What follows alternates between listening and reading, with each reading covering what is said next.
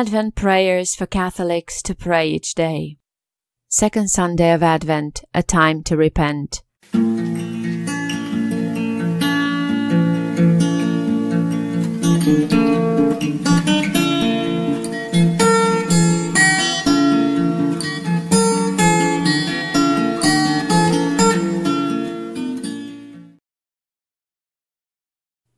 In the name of the Father, and of the Son, and of the Holy Spirit.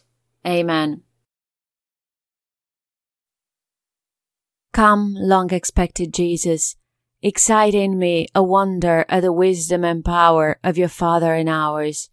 Receive my prayer as part of my service of the Lord, who enlists me in God's own work for justice.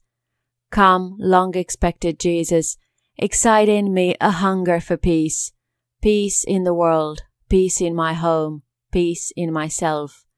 Come, long expected Jesus, excite in me a joy responsive to the Father's joy. I seek His will so I can serve with gladness, singing, and love. Come, long expected Jesus, excite in me the joy and love and peace it is right to bring to the manger of my Lord.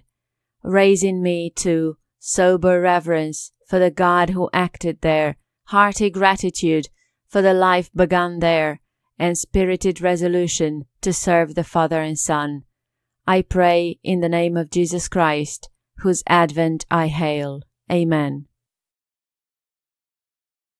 John the Baptist appeared, preaching in the desert of Judea, and saying, Repent, for the kingdom of heaven is at hand. Matthew 3 1 2. Reflect today upon the unerring truth that you need to repent. You do. The only person who doesn't need to daily repent is the one who lives perpetually in a state of perfect communion with the most holy Trinity. But these holy souls are rare. Don't be offended by this truth, but rejoice in it. Give thanks to God for the strong words of St. John the Baptist, spoken to the Pharisees and Sadducees, and allow yourself to hear those words yourself, as if they were spoken just for you. Receive them with humility and rejoicing, and allow them to prepare you more fully to receive our Divine Lord more deeply into your soul this Advent season.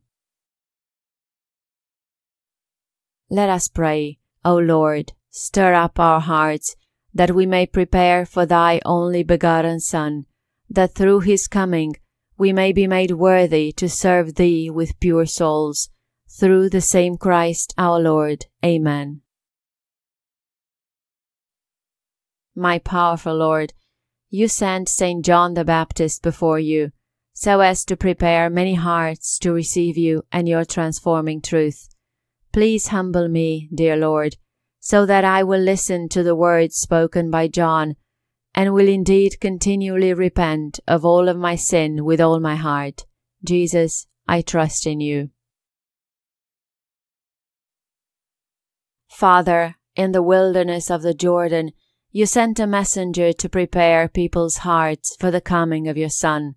Help me to hear his words and repent of my sins, so that I may clearly see the way to walk the truth to speak, and the life to live for Him, our Lord Jesus Christ. Amen.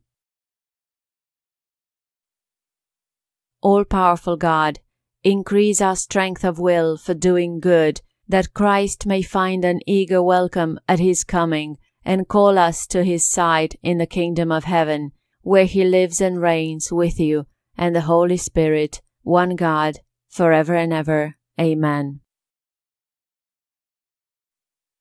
Father in heaven, our hearts desire the warmth of your love, and our minds are searching for the light of your word.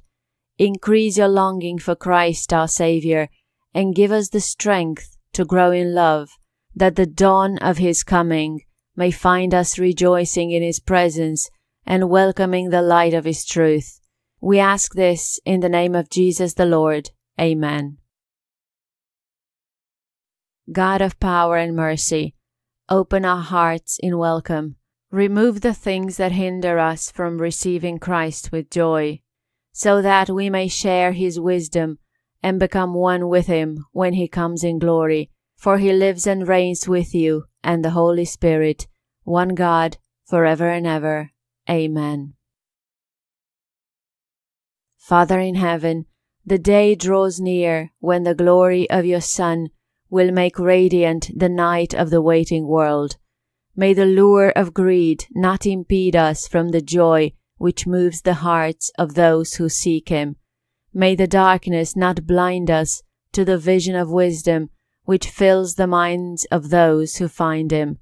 We ask this in the name of Jesus the Lord. Amen.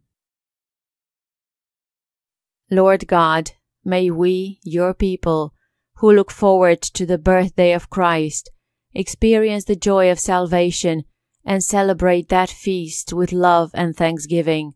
We ask this through our Lord Jesus Christ, your Son, who lives and reigns with you, and the Holy Spirit, one God, forever and ever. Amen. Father of our Lord Jesus Christ, ever faithful to your promise and ever close to your church, the earth rejoices in hope of the Saviour's coming and looks forward with longing to his return at the end of time. Prepare our hearts and remove the sadness that hinders us from feeling the joy and hope which His presence will bestow, for He is Lord forever and ever. Amen. Lord, fill our hearts with your love, and as you revealed to us by an angel the coming of your Son as man, so lead us through his suffering and death to the glory of his resurrection for he lives and reigns with you and the Holy Spirit, one God, forever and ever. Amen. Father, all powerful God, your eternal word took flesh on our earth when the Virgin Mary placed her life at the service of your plan.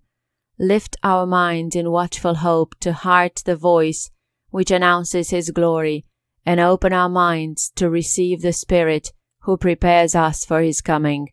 We ask this through Christ our Lord. Amen.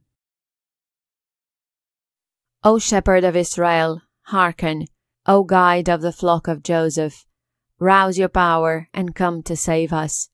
O Lord of hosts, restore us. If your face shine upon us, then we shall be safe. O Lord of hosts, how long will you burn with anger while your people pray?